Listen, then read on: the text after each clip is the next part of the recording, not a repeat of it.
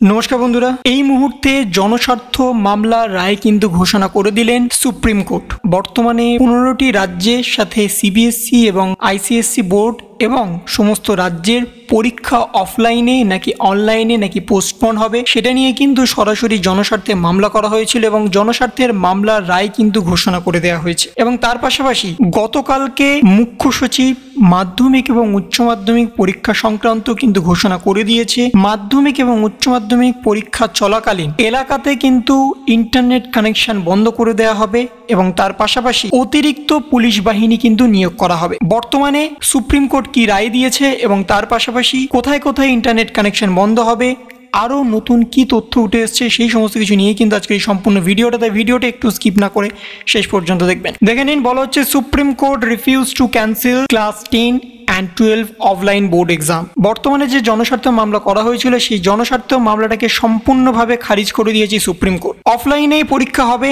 Physically গিয়ে পরীক্ষা দিতে হবে কোনো রকম অনলাইনে পরীক্ষা হবে না। দু হাজার বাইশে মাধ্যমিক, উচ্চ মাধ্যমিক বলুন বা সিবিএসসি আইসিএসসি বা অন্যান্য রাজ্যে যে পরীক্ষা হয়, সেই পরীক্ষা কিন্তু অফলাইনেই হবে।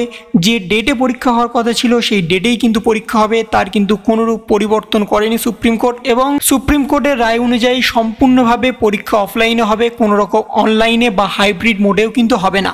অর্থাৎ হাইব্রিড মোড বলতে যেটাকে বোঝাতো যে অনলাইন এবং অফলাইন দুটোর মধ্যে ছাত্রছাত্রীরা চুজ করতে পারবে কোনটাতে পরীক্ষা দেবে, কোনটাতে পরীক্ষা দেবে না। কিন্তু সেটাতেও সম্পূর্ণভাবে বিধিনিষেধ দিয়ে দিয়েছে সুপ্রিম কোর্ট।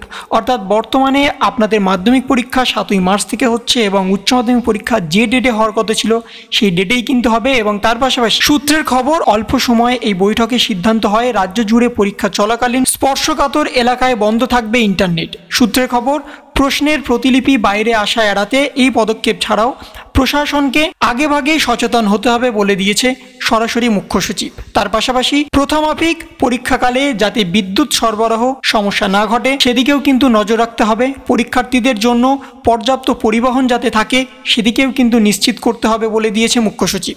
করোনা আবহে গত বছর মাধ্যমিক এবং উচ্চ মাধ্যমিক জোড়ো পরীক্ষা বাতিল হয়েছিল। ফেব্রুয়ারি থেকে স্কুল খুলে গেছিল। এবং এই প্রেক্ষাপটেই মাধ্যমিক এবং উচ্চ মাধ্যমিকের মধ্যে দুটো বড় পরীক্ষা অফলাইনে হবে, সেটাই কিন্তু জানিয়ে দিয়েছে পর্ষদ এবং সংসদ। এবং আপনাদের পরীক্ষা চলাকালীন অতিরিক্ত কিন্তু পুলিশ বাহিনীও নিযুক্ত করা হচ্ছে। বিশেষ করে উচ্চ মাধ্যমিক পরীক্ষার ক্ষেত্রে অতিরিক্ত পুলিশ বাহিনী থাকবে যাতে কোনোরূপ গণ্ডগোল না হতে পারে। সেই জন্য কিন্তু পর্ষদের তরফ থেকে কিন্তু আগেভাগেই জানিয়ে দেওয়া হয়েছে যে মাধ্যমিক এবং উচ্চ মাধ্যমিক পরীক্ষা যেহেতু গত দু বছর হয়নি, এই বছর যেহেতু হচ্ছে, সেই জন্য আপনাদের পরীক্ষা চলাকালীন অতিরিক্ত পুলিশ বাহিনী থাকবে, তার পাশাপাশি ইন্টারনেট কানেকশন স্পর্শকাত এলাকাতে বন্ধ থাকবে এবং যাতায়াতের কোনোরূপ অসুবিধা না হয়, সেদিকেও নজর রাখবে পর্ষদ এবং আপনাদের পরীক্ষা চলাকালীন বিদ্যুৎ সরবরাহের দিকেও কিন্তু নজর রাখবে। সরাসরি পোর্শন তাহলে এই ছিল একটা ছোট্ট ইনফরমেশন আপনাদের সকলের জন্য। যদি আপনাদের ভিডিওটা ভালো লেগে থাকে, তবে লাইক করুন শেয়ার করুন এবং অবশ্যই সাবস্ক্রাইব করুন। তার পাশাপাশি আপনার মতামত কমেন্টের মাধ্যমে জানান। ভালো থাকুন, সুস্থ থাকুন। ধন্যবাদ।